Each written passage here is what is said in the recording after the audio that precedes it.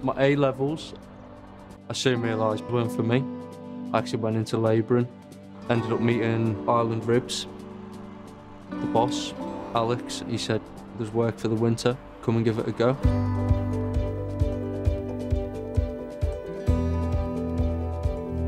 A couple of months later, I was signed up as an apprentice.